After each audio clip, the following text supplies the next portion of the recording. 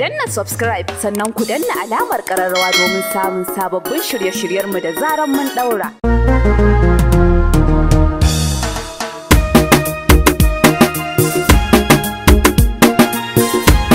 Ajiya ki kira min Aisha yau kam sai ta yi gamo da ni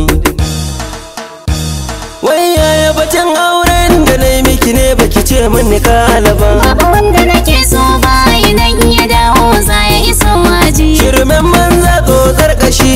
ƙoshi da lanɗan ludayi. Duk wanda na samu zan haɗa ko in dai na ganin ki a daba da Ni.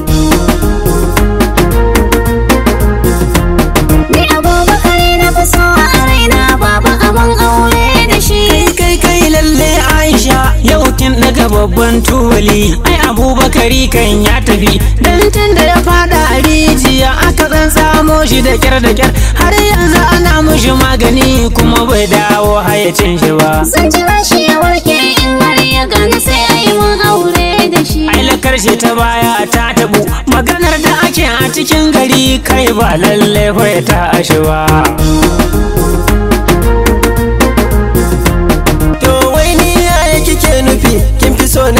Ta zama da ke Ai Jamilu yana nan lafiya a kira shi a tattauna da shi Ban bar magana da kamar wuya kankara ta babba kada da shi. Ai tun da ya sato tunkiya yan sanda sun yi carab da shi na ji ma wai daurin rai da rai za su yi mishi dan horon gaba. Baba na rantse ƙarya yake ba haka ne halinsa ba Tausayin ki nake ji yar uwa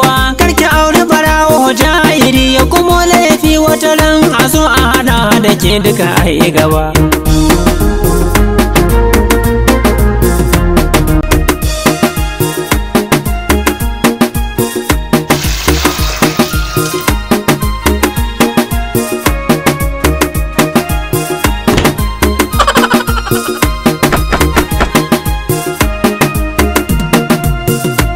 To a nemi kabir a yi magana shi ma mun tattauna da shi Tabdilan aiki ya shiga da wannan kyan wani likitoci duk sun tabbatar ya kamu da ciwon zamani. Kuma menene na manta? Bar mu zauna ni da shi. Amma ke baki da hankali an ce miki bashi da lafiya. To ku je ku yi auren sai mu gani ba a dai a gidan nan namu ba. Bana ko sadaka zan ba da ke in dai na ganin ki a daba da ni.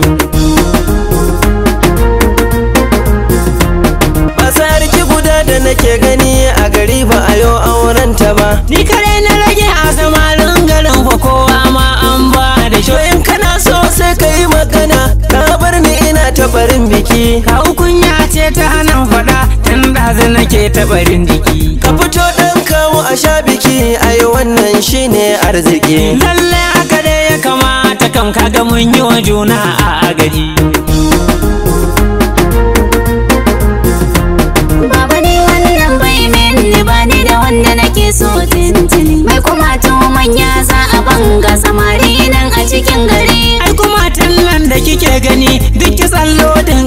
Ki ne. Auka nake yi ni ban koshi ba a ɗauki barbesu a fitar waje. To kuma tallan ma zan sace su don mu zauna lami lau da ke.